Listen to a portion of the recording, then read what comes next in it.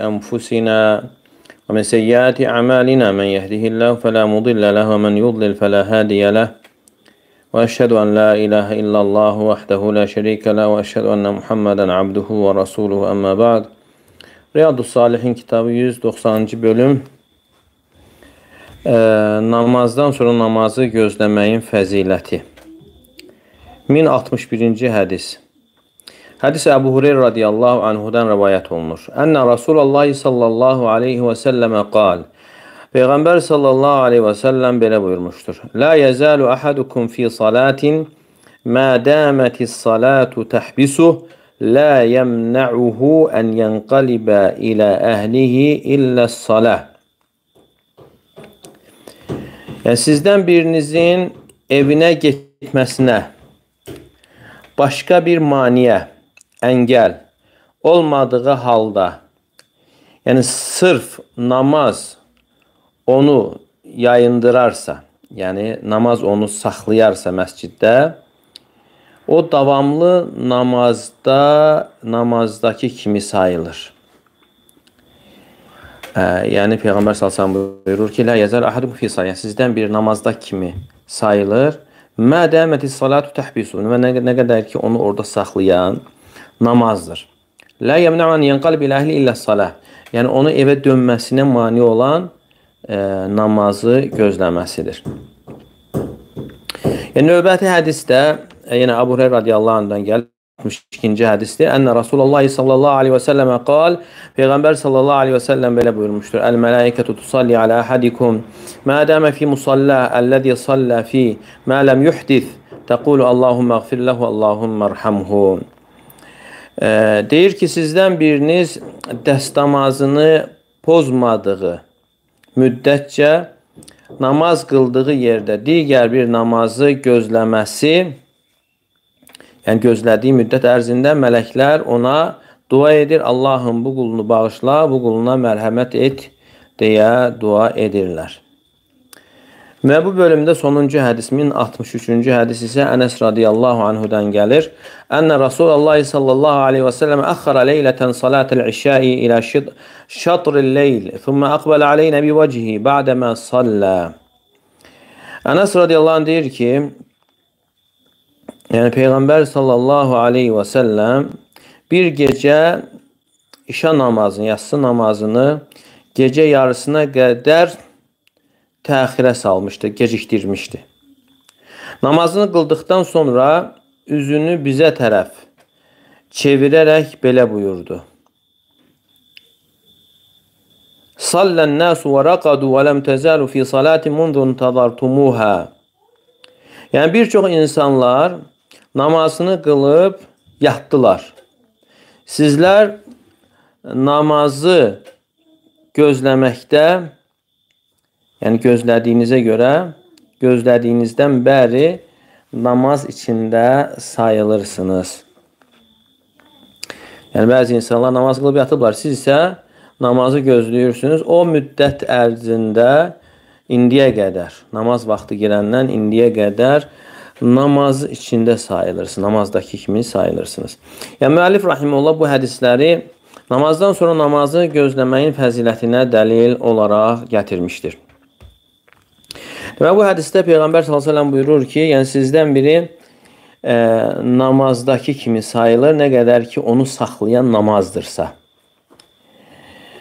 Yəni, bu da savab baxımından, fəzilət baxımından, əcr baxımından belədir. O ki, qaldı əhkamlar baxımından, yəni digər əhkamlar, namazda olan əhkamlar, namazı gözləyən insana tətbiq olunurmu? Və sözsüz ki, hər tərəfdən yox, hər bir tərəfdən yox tətbiq olunmur. Çünki yəni məsciddə insan namazdan sonra namazı gözlədiyi müddət ərzində çevrilə bilər, danışa bilər, yeyə bilər, içə bilər. Lakin bəzi əməllər, namazda bəyənilməyən əməllər onun üçün də bəyənilmir. Məsələn, barmaqları bir-birinə keçirmək namazda qadağandır və həmçinin namazdan sonra namazı gözləyən insan namazdakı kimi sayıldığına görə onun üçün də bu qadağandır. Ə, deməli insan namazdan sonra namazı gözləyirsə barmaqları bir-birinə bir keçirməsi onun üçün icazəli deyildir. Çünki o namazdadır. Onu saxlayan əgər namazdırsa. Ə, və həmçinin elm əhlindən bəziləri Peyğəmbər sallallahu aleyhi və səlləmin sözünü Abdullah ibn Amr ibn As radiyallahu anhuya ə, namaz qıldıqdan sonra deyir ki, keyfə bikum və bi zaman yuşku an yati yuğarbalu an-nasu fi qarbalah və təbqa huthalatun minan-nas قد مرجت أحوده وأماناته فاختلفوا وكانوا هكذا وشبك بين أصابعهم Deməli Peyğəmbər sallallahu bir dəfə Abdullah ibn Amr As radiyallahu anh namaz bitirdikdən sonra deyir ki, yəni sizin halınız necə olacaq? Belə bir dövr, zaman gəldiyi zaman o vaxtı insanlar ələklənəcəklər. Ələklənəcəklər və insanlardan elə insanlar, yəni qalacaq köpük kimi və onların əhdləri bir-birinə qarışacaq, əmanətləri qarışacaq ə, və ixtilaf edəcəklər və sonra ə, və Peyğəmbər göstərir ki, onlar belə olacaqlar barmaqlarını bir-birinə keçirir. Ə, və bunu gətirilək bu namazdan sonra idi. Deməli, əgər namazdan sonra barmaqlarını keçirməsi bu hədisə əsasən yəni problem deyil. Lakin namazdan son əvvəl namazı gözləyirsə və ya namaz əsnasında yəni onu barmaqların bir-birinə keçirməsi icazəli deyildir. Və həmçinin burada Peyğəmbər sallallahu aleyhi və səlləmin sözü ki, nə qədər ki, onu saxlayan namazdır. Namaz deyildiyi zaman, yəni fərz namaz onu saxlayırsa. Burada namaz deyildiyi zaman, yəni nəzərdə tutulan fərz namaz. Yəni onun qalmasına səbəb fərz namazdır. E, yəni əgər bir insan məsciddə fəcirdən sonra gün doğana qədər gözləyir duha namazını qılmaq üçün, o da namazda kimidir e, yəni bunu da saxlayan namazdır. Və həmçinin evinə getməsinə mani olan namazdır. Yəni bu hədis bu insana tətbiq olunurmu? Nə qədər ki, onu saxlayan namazdırsa. Yəni birinci sözsüz ki, e, bura fərz daxildir və eyni zamanda da nafilə də daxil ola bilir. Və burada keçir ki, la yemna'u an yanqaliba ila ahli illa salah. Yəni onun evinə dönməsinə mane olan namaz olarsa, yəni namazı gözlədiyinə görə evinə gedə bilmir. Və bu da müəllif rahimehullahın gətirdiyi bölümə dəlildir ki, namazdan sonra namazı gözləməyin fəziləti bölümünə. Yəni insanın namazdan sonra digər namazı gözləməsi və yaxud müəzzin əzan verdiyi zaman və ondan da əvvəl gələrək namazı gözləməsi də bura daxildir. Növbəti hədis yenə Əbu Hüreyrə radiyallahu anhudan gəlir və deyir ki, Peyğəmbər sallallahu əleyhi belə buyurmuşdur: Mələklər sizdən birinə e, dua edər nə qədər ki, namaz qıldığı yerdə gözləyərsə, dəstəmazı pozmadığı müddət ərzində. Və deyər ki, Allahum onu bağışla, Allahum ona rəhm et. Yəni mələklər möminlərə dua edir. Necə ki Allah Teala buyurur: "Huvellezî yusalli aleykum və mələikətuhu liyuxricakum minəz-zulumati ilen-nur." Yəni sizə dua edən Allah Teala'dır və onun mələkləridir. Sizi zülmətdən nura çıxartmaq istəyir. Yəni mələklərin iman əhlinə olan duası, yəni salavatı dua mənasındadır və yaxud da istiğfar mənasındadır yəni bağışlanma dilənmək mənası. Yəni mələklər, yəni mömin insanların bağışlanmasını Allahdan diləyirlər. Allah Teala Qafir surəsində buyurur ki: "Ellezine yahmiluna al-arşa ve men havlehu yusabbihuna bihamdi rabbihim ve yu'minuna bihi ve yestağfiruna lillezine amanu." Ərşi daşıyan mələklər və onun ətrafında olan mələklər Rəbbini həmd ilə təsbih edərlər, təqdis edərlər və Allaha iman gətirər və iman gətirənlərin bağışlanmasını Allahdan diləyərlər. Və bu da mələklərin iman əhlinə olan salavatıdır. Yəni istighfar diləməsi və həmçinin dua etməsi. Və burada da gəlir ki, mələklər, yəni sizdən birinə namazdan sonra namazı gözlədiyi müddət ərzində dua edər ki, Allahım onu bağışla, Allahum məğfir ləhu, Allahum mərhəmhu, ona rəhm et deyə dua edərlər. İstiğfarın da həqiqəti mahiyyəti odur ki, Allah Teala'dan onun bağışlanmasını diləməkdir. Deməli, namaz, namazı gözləyərsə, namazı gözləyərsə, gözlədiyi müddət ərzində mələklər ona dua edər. Və bu da xüsusi bir duadır. E, mələklərin möminlər üçün etdiyi dua. Kim bu halda olarsa, yəni namazdan sonra məsciddə namazı göz gözləyərsə, mələklərin duasına nail olur.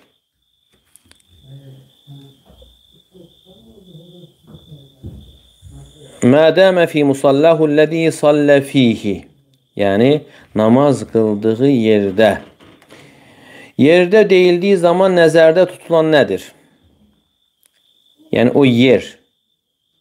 Yəni əgər o namaz qıldığı yerdən məsələn insan yəni 1 metr aralansa, yəni ona bu hədis müvafiq olur yoxsa yox? Yoxsa namaz qıldığı yer deyildiyi zaman məscidin özü nəzərdə tutulur. Ə, məsələn, insan namaz qılıb bir yerdə və sonra biraz aralanaraq, yəni divara söykənmək üçün e, biraz kənarlaşır və orada gözləyir. Və yaxud da e, yuxusunu dəf etmək üçün namaz qıldığı yerdən biraz kənarlaşır.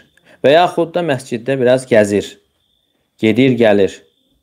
Yəni, əgər insan belə edərsə, bu vəsfdən kənara çıxırmı?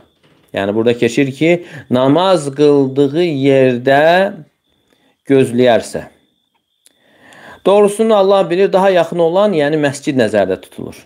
Yəni əgər bir insan məscidə gəlir və orada namaz qılarsa və o namazdan sonra o məsciddə digər namazı gözləyərsə, yəni qədər ki, o məsciddən çıxmır və oradan çıxaraq başqa məscidə getmir və yaxud da evinə getmir və o məsciddə qalır. Ona görə daha yaxın olan, yəni budur ki, o məscidin özündə, yəni şərt deyil ki, namaz qıldığı yerin özündə gözləməsi.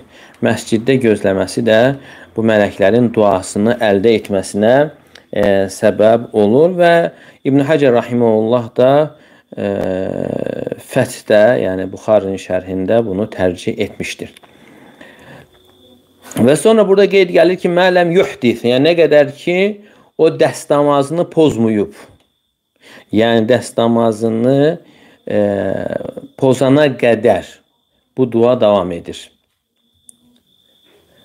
Allahumma əğfir ləhu, Allahumma rəhəmhu. Yəni Allahın bu qulunu bağışla, Allahın bu quluna rəhm et.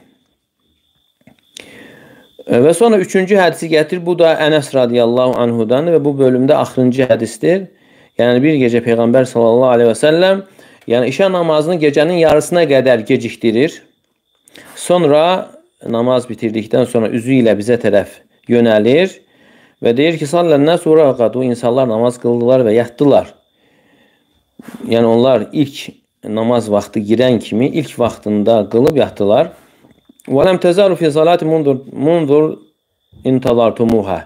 Amma siz isə namazda namaz içərisində davam edirsiniz o vaxtdan indiyə qədər namazı, nə qədər ki, namazı gözləyirsiniz. Elə bil ki, yəni bunlar o ilk namaz vaxtında gəliblər məscidə və gecənin yarısına qədər məsciddə gözləyiblər. Sonra Peyğəmbər sallallahu aleyhi və səlləmlə bərabər qılıblar işanı. Elə bil ki, onlar o müddət ərzində, yəni işa namazı ilk girən vaxtdan gecənin yarısına qədər onların gözlədiyi müddət namazdan sayılır. Və şək yoxdur ki, işa namazını, yatsı namazını gecikdirmək daha əfsəldir. Və daha yaxın olan odur ki, işə namazının vaxtı gecə yarısında çıxır. Və bu da gecənin yarısı da qış və yay baxımından fərqlənir. Və bunun da bilinməsi məğriblə fəcrin ortasıdır. Yəni məğrib namazı ilə e, sübh namazının, yəni düz ortası, gecənin yarısı e, sayılır. Yəni artıq gecənin yarısı oldusa demək olar ki, işa namazın vaxtı çıxır. Yəni o gecənin yarısına qədər gecikdirmək e, əfsəldir əgər cemaat şəklində qılınacaqsa. Cemaat şəklində qılınacaqsa. Yox, əgər ə, cemaat vaxtında qılır, bir insanın yəni özü tək başına gözləməsi bu əlbəttə bu yaxşı deyildir. Və ondansa insanın vaxtında qılanlara qoşulub cemaat şəklində qılması daha əfsəldir. Yox, əgər cemaat şəklində necə ki peyğəmbər sallallahu əleyhi burada gecikdirmişdir, cemaat şəklində e, gecikdirərlərsə və həmçinin məscid əhlinə bu məşəqqət yaratmırsa, çətin deyilsə və həmçinin hamı razıdırsa bu məsələyə, onda bu daha e, əfsəl sayılır.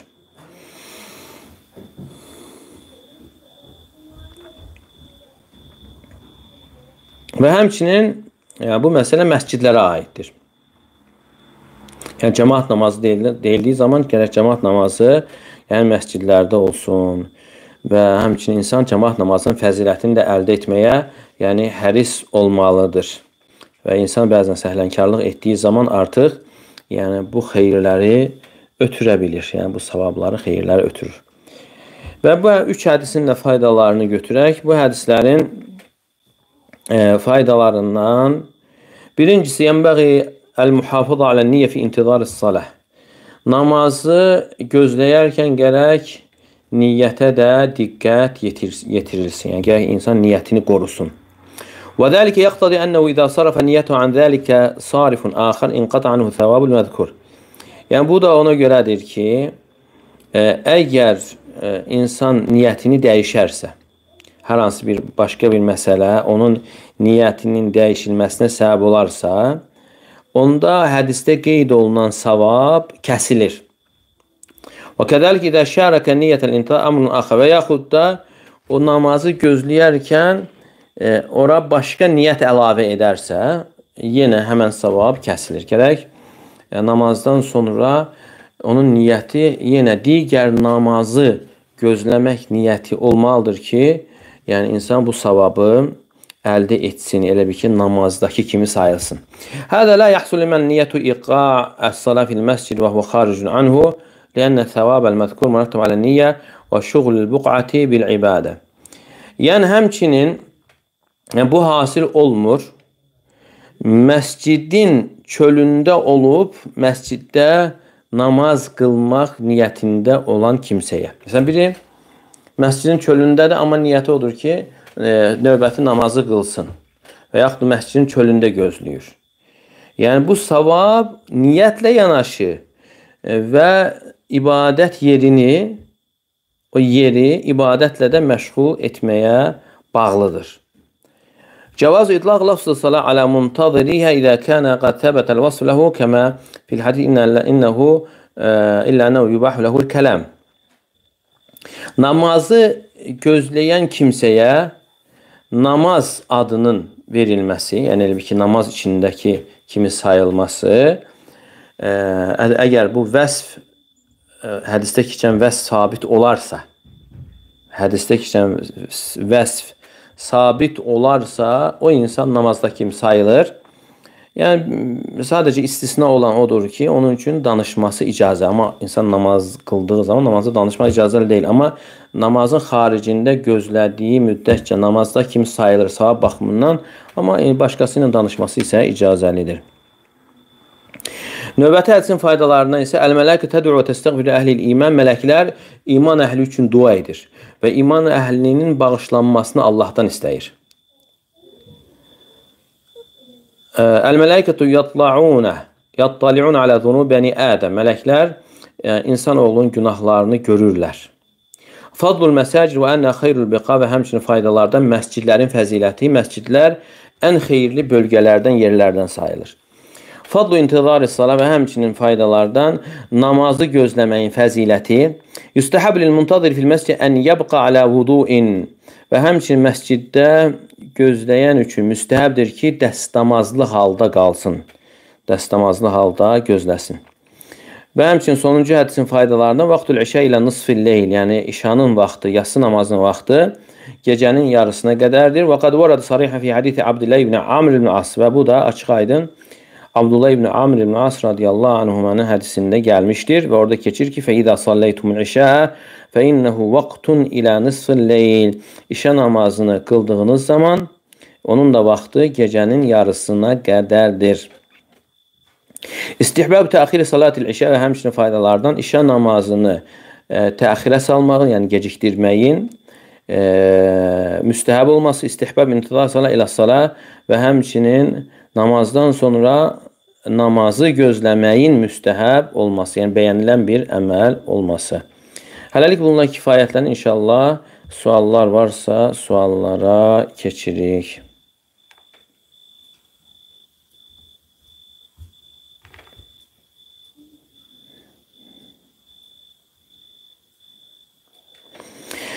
Sual verir ki, səcdədə uzun qalmaq olarmı? Yəni əvvəlki sünnələrdə qiyamda çox qalmırsa, yəni bildiyi qədər surə oxusa olarmı? Yəni qeyd olundu ki, namazda sünnəyə uyğun olan odur ki, e, yəni o qiyamda nə qədər qalıbsa, ona uyğun şəkildə rükuda qala bilər və səcdədə qala bilər. Və həmçinin növbəti rükətlər əvvəlki rükətlərə nisbətdə qısalır. Yəni ən birinci rükət uzun, sonra ikinci rükət ona nisbətdə biraz qısa olur, üçüncü rükət ona nisbətdə daha qısa olur və dördüncü rükət ona nisbətdə daha qısa olur və ona uyğun da gərək e, dualar da ona uyğun olsun səcdənin uzanması. E, sual verilir ki, əgər insan fikirləşirsə ki, qəlbində şübhə var, amma ibadətlərini edir, bu vəsvəsə ola bilər. Bəli, ola bilər. Yəni belə şeylər, yəni vəsvəsə sayılır. Gərək insan onları yəni dəf etsin və onlara məhəl qoymasın. Əgər onları yaxına buraxarsa, sonra yəni insanın onu qəlbindən çıxartması onun üçün çətinləşər, ağırlaşar.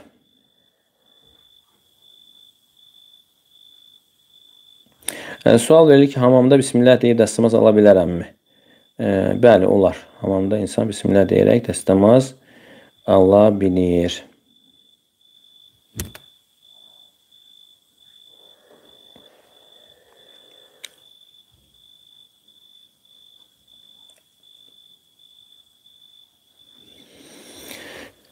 Sual verilir ki, həyatımızda baş verən e, yəni hər bir şey Allahdandır. Məsələn, yolda getdiyim yerdə yıxıldım, bu da Allahdandır.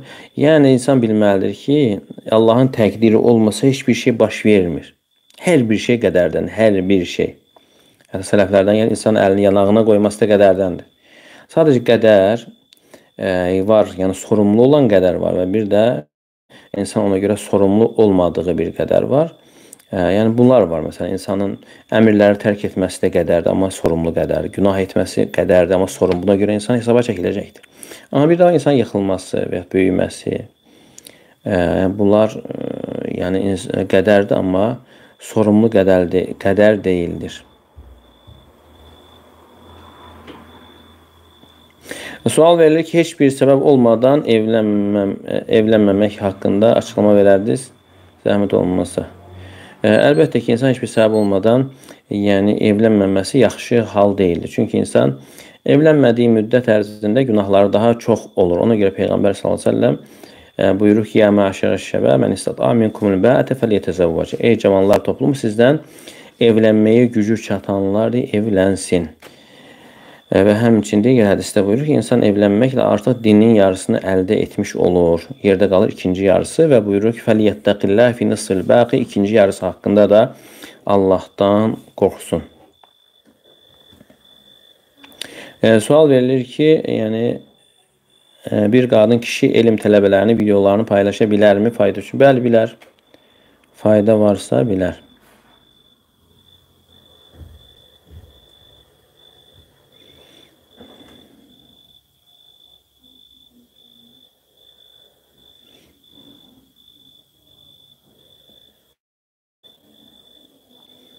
E, sual verilir ki, insanları Allaha çağırmağı və insanlara Allahın əzəmətini göstərmək, bunun fəziləti böyükdür. Əlbəttə ki, əlbəttə ki, ən böyük əməllərdən sayılır. İnsanları Allaha çağırmaq, Allahın yoluna çağırmaq, Allahın əzəmətini insanlara tanıtmaq. e, və Allah Teala buyurur: "Və men ahsanu qawlan mimmen da'a ila Allah və amila salihan və qala inneni minel muslimin." Və men ahsanu qawlan mimmen da'a ila Allah. Yəni Allaha çağırandan daha gözəl sözü olan kim ola bilər? Yəni bütün danışıqlar, sözlər içərisində ən gözəl söz insanın Allaha tərəf insanları çağırmasıdır. Ən gözəl söz, sözlərin ən gözəli yəni insanın Allaha çağırmasıdır. Və hətta İbn Qayyim rahimehullah buyurur ki, Allah Teala İsa əleyhissalam haqqında buyurur: "Və cəaləni mübarəkən eynəmə kunt." Yəni Allah Teala məni harada olsam məni mübarək etmişdir. Məni mübarək etmişdir. Və deyir ki, mübarək insan kimdir? Muallimən linnəsil xeyr, insanlara xeyir öyrədəndir. İnsanlara əzəm Allahın əzəmətini xatırladandır. İnsanları əmələ, ibadətə təşviq edən, çağıran və həvəsləndirəndir. E, sual verir ki, Aşura günü nə zamandır? Aşura günü ayın e, 8-idir. Ayın 8-i və ona görə yaxşı olar 7-si və 8-i oruç tutulsun.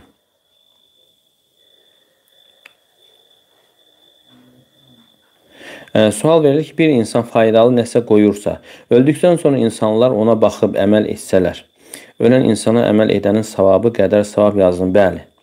Bəli, əgər bunun səbəbi ilə insanlar onu öyrənirsə e, və öləndən sonra o savabdan o insana da gəlir. Ona görə elmi yaymağın fəziləti olduqca böyükdür.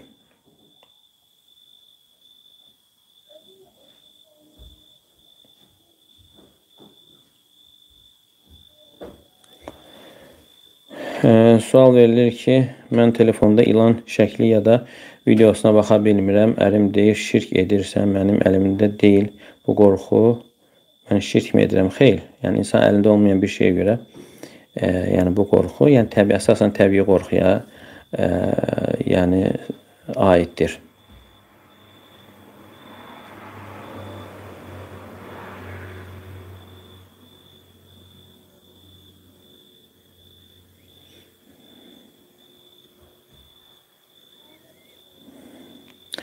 Namazı vaxtı girən kimi qılmaq olarmı? Əlbəttə ki, ən əfsəl olan namazı vaxtı girən kimi qılmaqdır.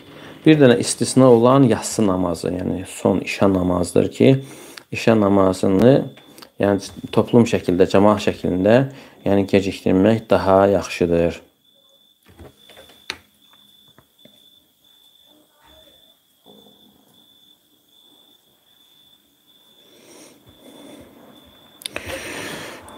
Sual verilir ki, Əbu Hureyra radiyallahu anhdan 5500 çox onun da çox hədis rivayet olunub. Həzrəti Əlidən radiyallahu anhdan 500, amma Həzrəti Əli peyğəmbərlə bir yerdə yaşayıb bunu izah e, edərdiniz, zəhmət olmaz.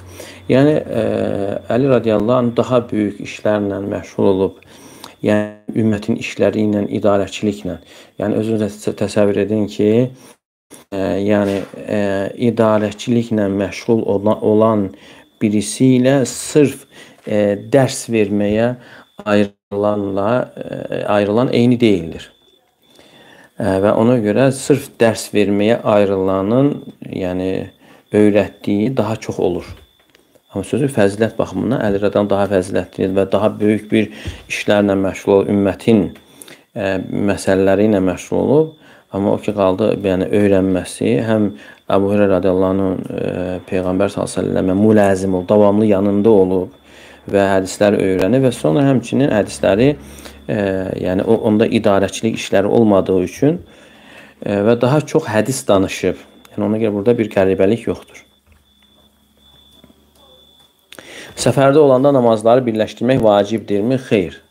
Ümumiyyətlə səfərdə olanda, yəni yolda olarkən birləşdirilir, həm qısaldılır. Amma yerləşəndən sonra bir yerə ümumiyyətlə namazlar birləşdirilmir. Sadəcə qısaldılır. 4 rükətli namazlar 2 rükət olur və hər namaz öz vaxtında qılınır. E, sual verilir ki, evdə qılınan namazdan sonra durmadan olunan zikirlərdə mələklər dua edir, yoxsa ancaq məsciddə qılınan namaza aiddir? Yəni məsciddə bir namazı qıldıqdan sonra digər namazı gözləyən ayət.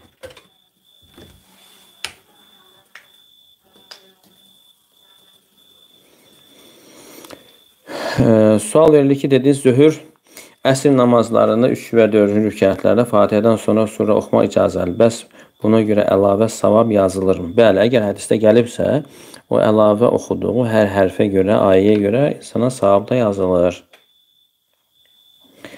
Sual verilir ki, pis yuxu şeytandandır. Bəs sübhdən sonra səhər zikirlərinin hamısını aramla oxuyub yatandan sonra yuxuda pis nəsə görsəm, yenə mi şeytandan? Bəli. Yenə pis əgər yuxu özlüyündə pis yuxu sayılırsa, pis yuxu şeytandandır. Və həmçinin insan bilməlidir ki, yəni zikirlərin olunması o demək deyil ki, insan artıq qorunub. Yəni zikirlərin əsasən düzgün olunmasıdır. Yəni mənasını anlayaraq, dərk edərək, yəni oxumalıdır ki, o zikirlərin insanın qorunması üçün ona təsiri olsun. Və bəzən görsən insan zikri edir, amma ona bir təsiri olmur. Səbəb də nədir? Dil ucu onu, onları edir, amma qəlb isə başqa yerdə və yaxud dünyada dolaşır.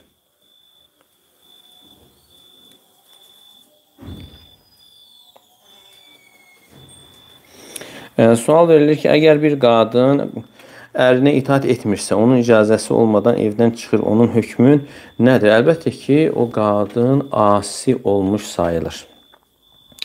Yəni ərinin icazəsi olmadan çıxırsa, o qadın günah daşıyır. E, asi sayılır.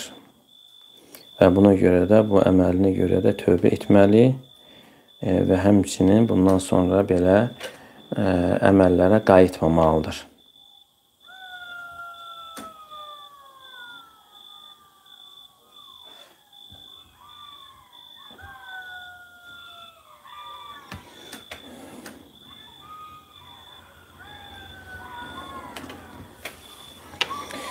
E, sual verilir ki, dərslərin birində deyirsiniz ki, ümumi bərabərlikdə fayda yoxdur fayda yalnız xüsusi e, bərabərliklər. O qədər məyus olmuşam ki, bəs ayələr bizə aid deyil. Məsələn, Rəbbin səni unutmadı, tərk etmədi.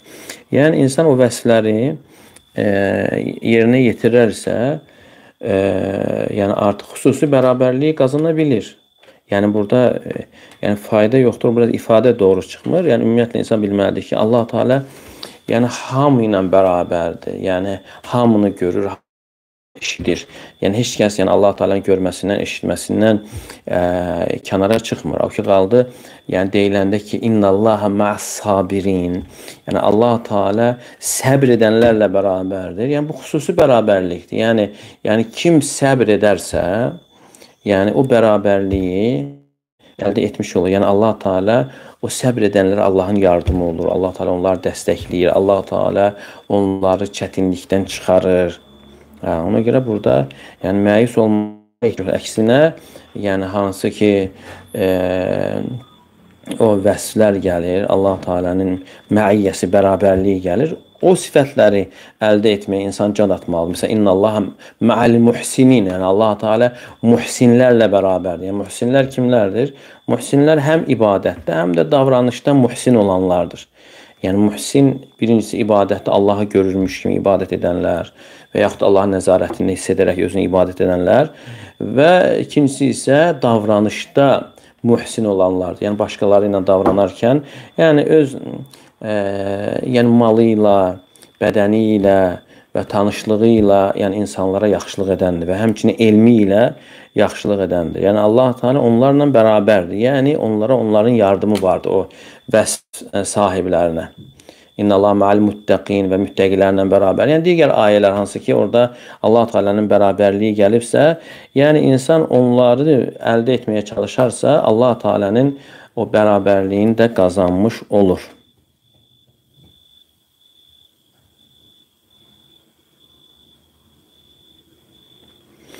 Sual verilir ki, heyzli qadın Quranı musafdan oxuya bilərmi? İnternetdə çox fərqli cavablar eşitmişəm və hansı dəlillər daha doğrudur bilmək istərdim. E, yəni toxunmadan oxuya bilər inşallah. Yəni heyzli qadın e, toxunmadan oxuya bilər. Qadının corabsız namaz qılması sünnətdir. Xeyr, belə bir şey yoxdur. Əksinə, corablı corabla qılmalıdır. Namaz qıldığı zaman ayaqları görsənməməlidir. Əgər ayaqlar görsənərsə, namazın batil olmasına səbəbdir. Namaz batil olar. Yəni qadın namaz qıldığı zaman gərək ayaqları görünməsin. E, sual verilir ki, namazda səcdədə ayaqlar birləşik olur tabanlarla aralı qoymaqda olarmı? E, yəni burada ixtilaf var. Bəziləri gətirir ki, yəni e, ayaqlar səcdədə olanda belə birləşmir. Yəni aralı tutulur, bəziləri birləşir. Amma daha yaxın ümumi dəlillərə baxdığımız zaman e, yəni səcdədə də ayaqlar birləşir. Çünki bir hədisdə Peyğəmbər Ayşə radiyallahu anhə deyir ki, mən gecə oyandım, Peyğəmbər sallallahu axtardım, yəni tapmadım e, və işıq da yox idi. Əli ilə belə axtarır və əlim yəni Peyğəmbər s.ə.v-in iki ayağının üstünə düşdü. Yəni Peyğəmbər s.ə.v səcdədə dua edirdi, namazda idi. Yəni bir əlim iki ayağının üstünə düşdü. Yəni buradan faydalar çıxarılır ki, yəni ayaqları bərabər yanaşı idi ki, yəni bir əli də iki ayağının üzərinə düşür.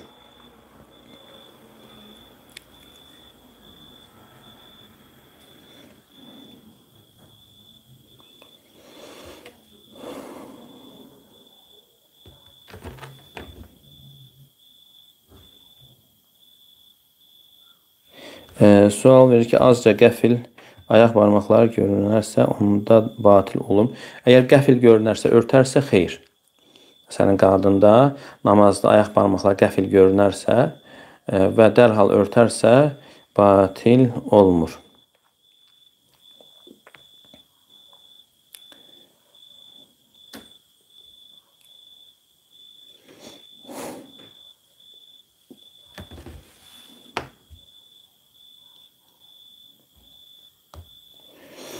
Bununla kifayətlənir. Allah Teala eşidib yaxşısına tabe olanlardan etsin. O sallallahu alə nəbiyinə Muhammed və alə alihi və sahbihi və səlləm.